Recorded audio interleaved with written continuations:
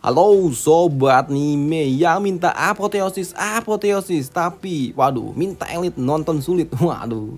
Yuk kita gas lagi apoteosis langsung aja kita gas ke Mereview sedikit dari pas sebelumnya. Setelah Furakawa melihat Zen bersenang-senang dengan para iblis di sini keluarga surgawi yang memang tidak memiliki hubungan baik dengan ras iblis di dunia batas atas. Di sini Furakawa ia pun dengan sangat mudah membantai para jenderal iblis hanya dengan sekali. Dar. Ya, melihat orang-orang yang dibawa oleh Zen dapat membantai para iblis-iblis itu dengan sangat mudah, tentu saja membuat para ras elf ini pun mengucapkan terima kasih. Ayah, senior, karena telah membantu kami membunuh para ras iblis itu. Kami, ras elf, akan mengingat kebaikan para senior ini. Dan aku juga mendengar kalau kalian membutuhkan bahan-bahan tertentu. Kami, kami akan membantu kalian mencarinya, ujar bocah ras elf ini. Tapi di sini ada seorang bocah ras elf lainnya yang sedikit khawatir dengan kondisi raja mereka, yaitu Yumao yang masih belum dapat kembali. Namun mendengar hal itu, di sini Zen ia berujar, ah untuk tidak perlu khawatir. Di sini Yumao ia akan segera tiba, ujar dari Zen. Dan benar saja, tak membutuhkan waktu lama, kini Yumao datang melesat dengan sangat cepat datang ke arah mereka. Ya, kedatangan Yumao ke arah mereka membuat bocah-bocah ini yang berasal dari ras elf ini mereka pun masih tidak percaya bagaimana bisa Luo Zhen ia tahu kalau Yumao akan segera datang. Selain itu juga mereka pun juga bertanya-tanya kepada Yumao apakah ia baik-baik saja? Ya, di sini Yumo pun berujar kalau ia baik-baik saja. Bahkan ia kembali dengan membawa tiga kepala dari ras iblis yang ada di tangannya itu. Dan tentu saja membunuh tiga ras iblis yang ada di ranah Godsend seorang diri membuat mereka pun kagum dengan raja mereka, raja ras elf yang memang ada di dunia batas bawah ini. Di sini Yumao yang melihat kedatangan Luo Zhen dan juga dua orang lainnya yang ada bersamanya dengan kekuatan yang benar-benar mengerikan. Hah, membuat Yumao pun bertanya-tanya, ah Luo Zhen, siapakah mereka? Ya, di sini sebelum menjelaskan siapa dua orang itu, di sini Zen juga berujar, ah Yumao, kau harus berterima kasih dulu kepada mereka. Dan jika bukan bantuan dari mereka, ah mungkin saja tanah suci rasmu ini sudah hancur.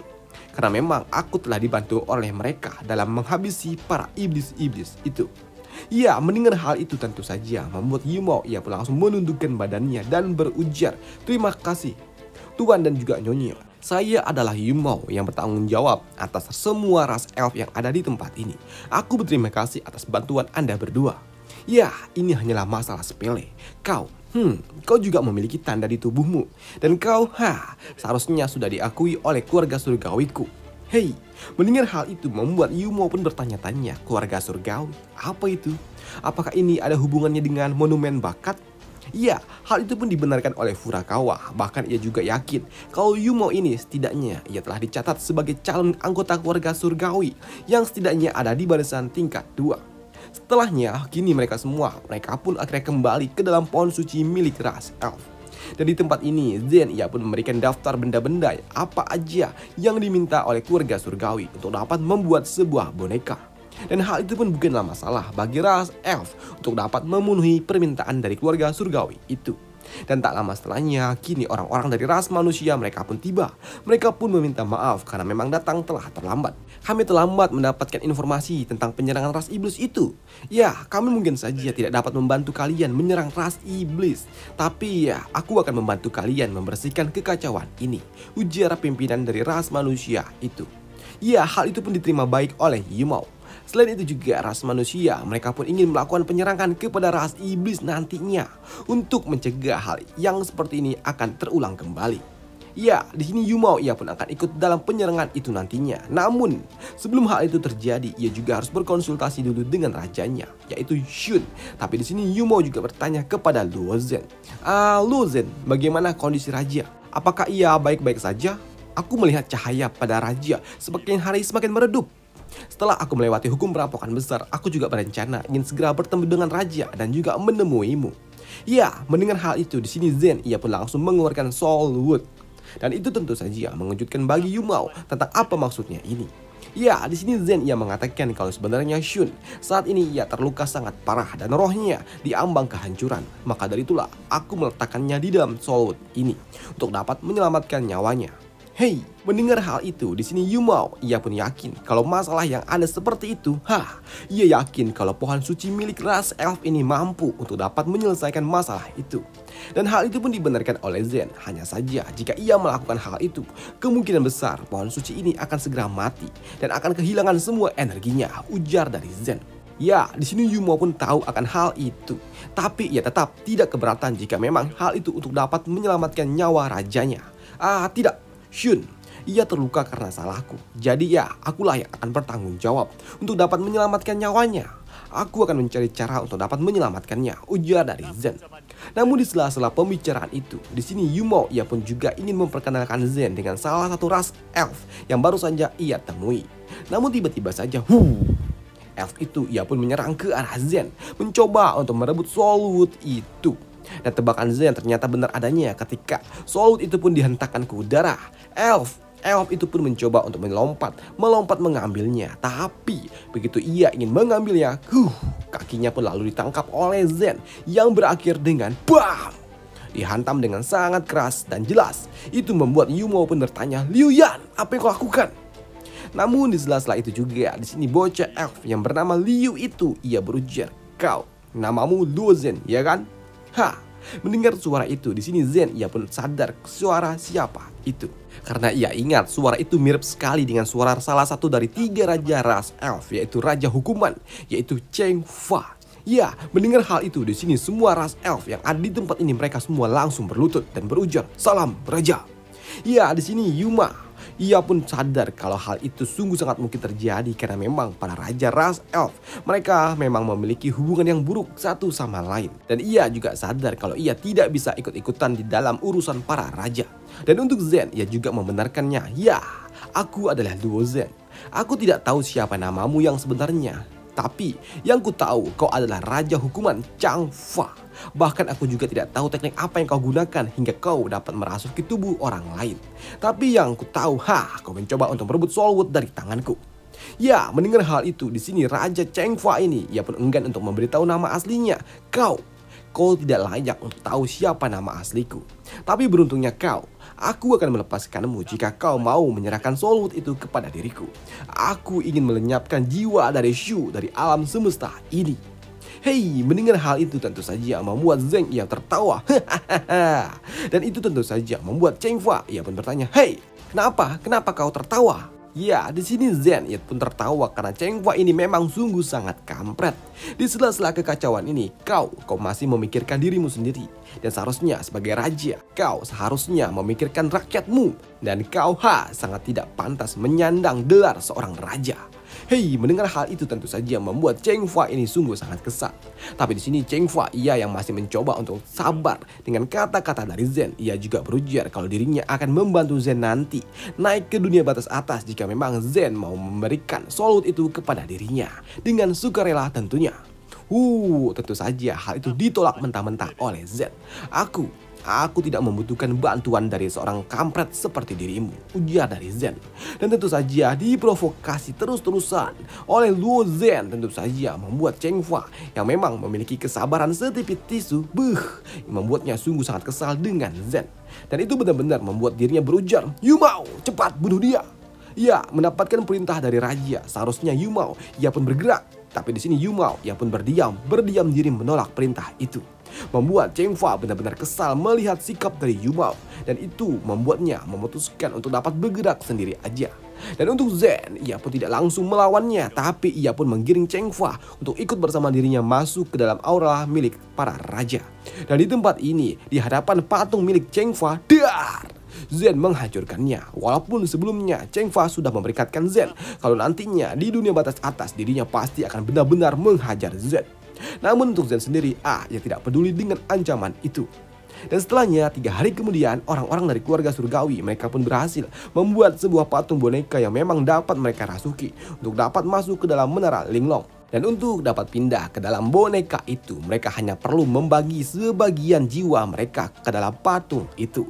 Dan hal itu pun mudah bagi orang-orang keluarga surgawi, tapi begitu. Untuk Zen, beuh, hei tunggu, aku tidak tahu bagaimana cara membagi jiwa.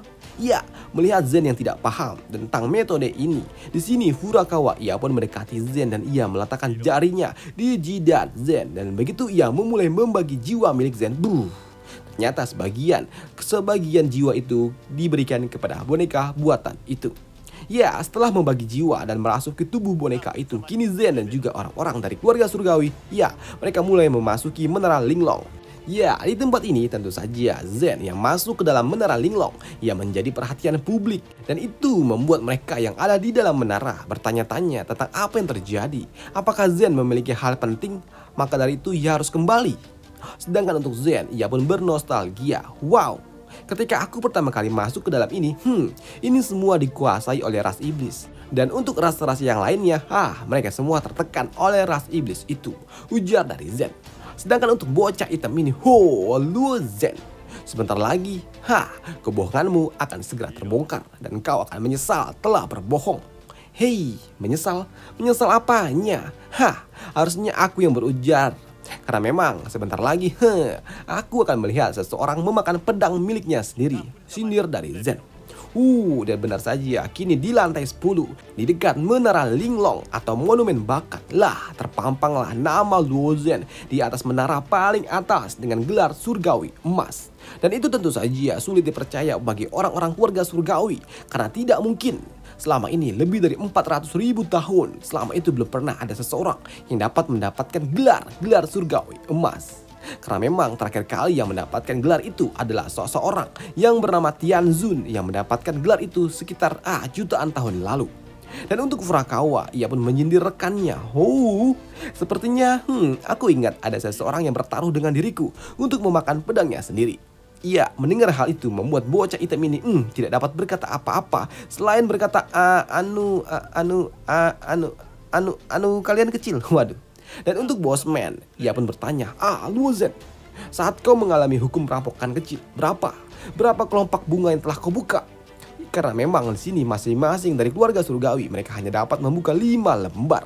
Dan untuk Zen, ya aku terakhir kali membukanya hmm, sebanyak 35 lapis. Hei, mendengar hal itu tentu saja membuat mereka semua shock karena itu kurang satu kelopak lagi untuk dapat membukanya secara sempurna.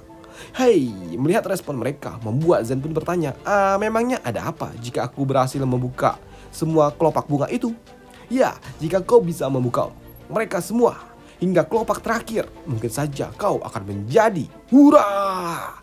Tiba-tiba saja mereka semua pun bergemuruh karena ternyata kini muncullah seorang bocah manusia yang keluar dari dalam menara itu dan ia bernama Zhao Li dan bocah ini ia mendapatkan gelar Shura Perunggu. Hei, mereka semua pun bergemuruh karena memang di sini bocah Zhao Li ini ia memiliki gelar satu tingkat di bawah Luo Zhen. Selain membuat mereka semua bersorak, di sini orang-orang yang ada, orang-orang dari keluarga surgawi, mereka juga tidak percaya kalau ternyata bocah itu memiliki potensi yang bahkan lebih baik daripada bos man. Ya, setelah sorak riuh itu usai, kini para kroco-kroco yang ada di tempat ini lah, mereka baru sadar kedatangan Luo Zen dan itu juga membuat salah satu kroco yang melihat ke arah Zen sempat menganggap kalau orang yang ada di depannya ini adalah seorang penipu yang mencoba untuk meniru sosok dari Luo Zen. Kau, siapa kau? Kenapa kau menyamar menjadi Luo Zen? Ujar bocah itu. Tapi sebelum hal itu lebih riuh lagi, di sini ada seseorang yang berujar, tidak. Kalian semua tidak perlu khawatir karena dia bukanlah seorang penipu. Dia benar, dia adalah Luo Zen. Dan tampaknya ia sudah ada di tingkatan limbo. Hmm, dari penampilan yang sedikit berbeda ini, ha, ia tidak dapat memasuki tanah terkutuk ini. Maka dari itu, ha, sepertinya ia membagi jiwanya ke dalam sebuah boneka. Dan yang berujar itu adalah sosok gadis kecil ini. Gadis kecil ini juga berujar, ah aku tahu ini adalah teknik milik keluarga surgawi dan kalian berlima pasti berasal dari keluarga surgawi, ya kan? Ya, kau benar dan kau siapa? Tanya bosman. Di sini bosman ia pun penasaran siapakah sosok gadis kecil ini yang dapat mengenali mereka hanya dengan satu kali tatapan. Tapi yang lebih penting lagi, bosman ia harus merekrut bocah Li Zhou itu juga. Waduh. Tapi di sini gadis kecil ini pun yang tahu orang-orang ini mengincar Zoli, maka dari itu ia tidak akan dapat membiarkan orang-orang keluarga surgawi ini merebut bocah itu. Zoli, dia adalah anggota dari ras manusiaku. Kalian tidak akan pernah mendapatkan bocah itu. Dan tentu saja hal itu tidak dapat diterima oleh keluarga surgawi ini. Bahkan mereka yakin dengan potensi yang dimiliki Zoli. Zoli akan lebih baik lagi jika ia bergabung dengan keluarga surgawi mereka. Karena memang di dunia batas bawah ini bakatnya akan tertahan. Tapi di sini gadis kecil ini yang ah Bang Jack juga lupa namanya siapa. Waduh. Ia pun mengatakan kalau jalur yang menghubungkan dunia batas atas dan juga dunia batas bawah akan segera terbuka cepat atau lambat. Huh, mendengar hal itu, di sini Bosman ia tidak dapat membiarkan begitu aja dan tetap ia akan mengambil Zauli itu. Bahkan ia juga berujar, kau Kau hanyalah seorang gadis kecil yang berasal dari dunia batas bawah ini. Kau pikir, hah, kau bisa menghentikan kami? Ya, gadis ini pun berujar, ya tentu saja. Kau hanyalah seorang bocah kecil di mataku. Kau hanyalah seorang bocah yang ada di tingkatan Divine Eternity. Dan itu bukanlah hal yang sulit bagi diriku untuk dapat menghancurkan kalian. Ujar gadis kecil ini dengan tatapan membunuhnya. Hei, mendengar hal itu sontak mengejutkan Bosman. Kau, siapa kau sebenarnya? Di sini, Bosman ia tidak menduga kalau ternyata gadis kecil ini dapat melihat kultivasinya hanya dengan satu kali lihat saja. Bahkan saat ini, sosok yang ia gunakan bukanlah tubuh aslinya. Tapi di sini gadis kecil ini ia tetap tidak akan membiarkan Zoli masuk ke dalam anggota keluarga surgawi. Namun untuk Luo Zhen ia tidak akan menghalanginya. Aku tidak akan menghalangi kalian jika kalian ingin merekrut Luo Zhen. Dia bebas untuk memilih mau bergabung apakah tidak. Mendengar hal itu, di sini Bosman ia sedikit bingung. Kenapa Zoli tidak dapat diizinkan untuk gabung, sedangkan Lozen yang jelas-jelas lebih kuat dan lebih berbakat, kenapa ia malah diizinkan untuk bergabung dengan keluarga surgawi? Ya, gadis kecil ini pun mengatakan alasan utamanya karena Zen ia memiliki takdir tak bernyawa yang artinya Lozian tidak memiliki takdir yang tertulis, tak seperti orang pada umumnya dan itu dianalogikan sebagai sebuah piring yang memang dilemparkan ke udara oleh salah seorang bocah dari anggota keluarga surgawi yang memang paham tentang maksud dari garis kecil ini. Karena memang kalau orang biasa mereka memiliki takdir yang tertulis, takdir yang telah ditulis oleh surga akan kelahiran dan juga kematian serta yang lainnya pula. Sedangkan untuk orang yang tidak memiliki takdir tak bernyawa, mereka tidak memiliki takdir mereka sendiri alias kosong. Jadi mereka bisa menulis takdir mereka sendiri apa pun itu. Huh, mendengar hal itu di sini naga hijau pun bahkan ia tidak menduga kalau ternyata Zen ia memiliki takdir tak bernyawa. Hohoho, garis kecil itu sepertinya ia mengetahui banyak hal. Puji naga hijau ini. Dan untuk Bosman, ia pun tidak peduli Zen memiliki takdir tak bernyawa atau apa pun itu. Yang jelas, ia harus merekrut Luo Zen karena memang orang yang memiliki gelar surgawi emas itu sungguh benar-benar sangat-sangat-sangat langka. Lantas untuk memastikannya, ia pun bertanya, Luo Zen, apakah kau mau bergabung dengan keluarga surgawiku? Hmm, entahlah. Sepertinya aku tidak memiliki pilihan lain, sambut dari Zen. Tapi di sini Zen ia juga memiliki satu buah syarat yaitu aku ingin Menara Linglong tetap berada di dunia batas bawah ini setidaknya 500 tahun. Karena memang ini sungguh sangat penting bagi orang-orang yang ada di sekitaran tempat ini. Karena memang jika benda ini ditarik, dibawa kembali ke dunia batas atas, ah, orang-orang yang ada di tempat ini, kultivasi mereka akan tertahan. Uh, mendengar 500 tahun itu terlalu lama bagi orang-orang keluarga surgawi. Maka dari itu mereka nego minta 300 tahun aja. Dan sebagai gantinya mereka akan mengeluarkan kemampuan asli dari menara ini yang memang tertahan. Karena ternyata selama ini menara ini hanya mengeluarkan setengah dari kemampuannya aja. Selain itu juga dari menara ini akan dibuka hingga ke lantai 36 yang memang awalnya cuma ada 10 lantai. Dan untuk melakukan hal itu cukup simpel karena mereka hanya perlu membuat sebuah array transmisi. Dan dengan adanya array transmisi ini akan membuat mereka yang ada di tingkatan limbo masih dapat masuki menara ini. Walaupun mereka juga tidak akan dapat atau tidak akan mendapatkan hasil yang signifikan. Tapi ya hal itu cukuplah untuk dapat membantu mereka yang ada di tingkat limbo untuk berlatih di dalam menara. Dan sebelum hal itu direalisasikan, di sini Zen ia pun mengumpulkan para dewan yang ada di dalam menara. Dan di sini para dewan mereka pun bertanya apakah orang orang-orang dari keluarga surgawi akan mengambil kembali menara ini? Ya, hal itu pun dibenarkan oleh Dozen tapi tidak dalam waktu dekat. Tapi di sini Z juga berujar kalau menara ini akan dibalikkan yang akan memberikan efek manfaat dua kali lipat daripada yang ada saat ini. Dan benar saja, kini bocah dari keluarga surgawi dengan teknik formasi array transmisi, ia dapat membuat menara linglong ini yang dikenal sebagai pagoda terbalik terbang ke udara dan benar-benar dibalikkan. Boom! Dan ternyata pagoda terbalik ini bukanlah bangunan yang terbalik atau bangunan yang sengaja dibalik. Tapi ternyata bangunan ini berasal dari dunia batas atas dan jatuh. Maka dari itu nancep bagian atasnya duluan. Karena memang bukan dibangun terbalik tapi karena jatuh. Waduh. Dan kembalinya fungsi menara linglong ini. Maka dari itu menyelesaikanlah alur cerita dari apoteosis kita di sini dulu dan sampai jumpa di part selanjutnya. Di mana di part selanjutnya Zen ia akan kawin dengan Ning Yudi dan Ewew sampai punya anak. Sampai jumpa. Bye. Waduh. Oke, kita bakal lanjut push terus. Seperti waktu kayak waktu bulan puasa gitu loh. Waduh, dan sampai jumpa. Bye.